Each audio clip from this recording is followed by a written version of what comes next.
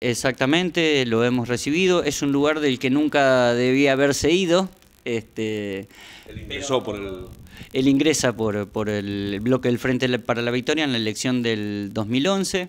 Entendemos que Jorge Alagastino es un hombre del proyecto nacional en el marco que nunca ha renegado de su apoyo a nuestro gobierno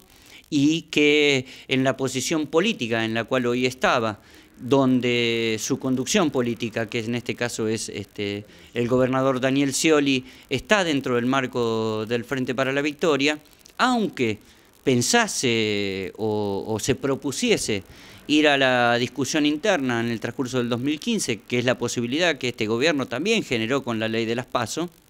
este, es un sinsentido que esté por fuera del bloque. Por tanto, este, para nosotros no solo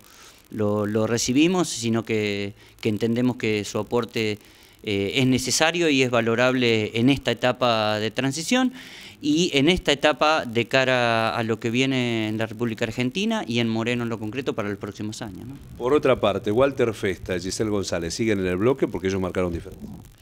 En este caso, este, ellos han pedido la salida del bloque de